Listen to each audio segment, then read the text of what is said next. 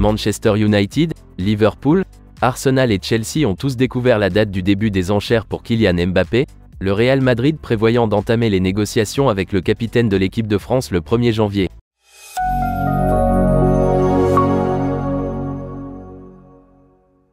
Kylian Mbappé a provoqué la colère du Paris Saint-Germain cet été en révélant qu'il ne prolongerait pas son contrat avec le club, son contrat actuel devant expirer en juin 2024.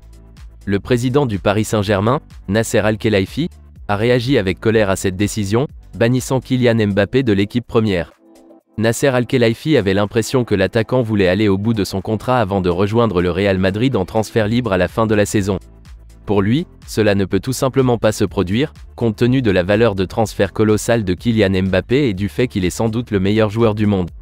Le joueur de 24 ans a rapidement réintégré l'équipe senior du Paris Saint-Germain après des discussions en tête-à-tête avec Nasser Al-Khelaifi. On pensait que Kylian Mbappé avait accepté de prolonger son contrat avec le Paris Saint-Germain jusqu'à l'été 2025 pour protéger sa valeur de transfert, mais il voulait inclure une clause pour s'assurer qu'il pourrait partir si une offre importante se présentait l'été prochain. Malgré un accord apparent entre le joueur et le Paris Saint-Germain, ce contrat ne s'est pas encore concrétisé. Il est donc toujours possible que Kylian Mbappé soit transféré gratuitement l'été prochain.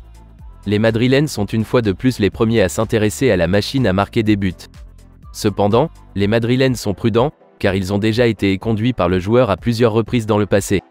Si le Real Madrid ne parvient pas à s'emparer une nouvelle fois de Kylian Mbappé, les géants anglais Manchester United, Liverpool, Arsenal et Chelsea se battront pour l'avoir.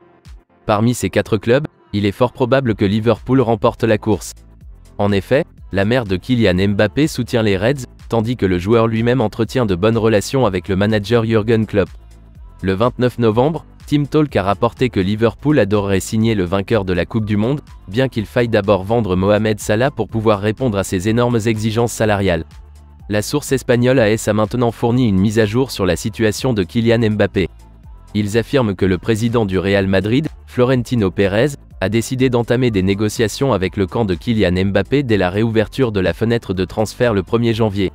En vertu de l'arrêt Bosman, le Real Madrid pourra conclure un pré-contrat avec Kylian Mbappé à partir de cette date, avant qu'il ne les rejoigne éventuellement dans six mois. Cependant, les Madrilènes ont également donné à l'ancien monégasque une deuxième date limite, le 15 janvier. S'il n'a pas accepté leur offre de contrat d'ici là, un transfert sera mis en place. Les dirigeants madrilènes estiment que ce délai est plus que suffisant pour permettre à Kylian Mbappé de décider s'il souhaite quitter le Paris Saint-Germain pour une nouvelle aventure en Espagne. Si Kylian Mbappé met trop de temps à répondre ou s'il choisit de rester en Ligue 1, le Real Madrid a choisi l'attaquant de Manchester City, Erling Haaland, comme plan B. Erling Haaland est l'un des rares joueurs, si ce n'est le seul, à pouvoir suivre les exploits de Kylian Mbappé en matière de but. Les Madrilènes estiment que le Norvégien peut être l'héritier parfait du trône laissé par Karim Benzema. Les Madrilènes pensent également que Erling Haaland serait ravi de retrouver Jude Bellingham à Bernabeu. Après tout, les deux hommes ont formé un excellent partenariat au Borussia Dortmund. Le Real Madrid est clairement en position de force pour recruter Kylian Mbappé, mais s'ils finissent par poursuivre Erling Haaland à la place, cela ouvrira la porte à des clubs comme Manchester United, Liverpool ou Arsenal pour réaliser un gigantesque coup d'éclat.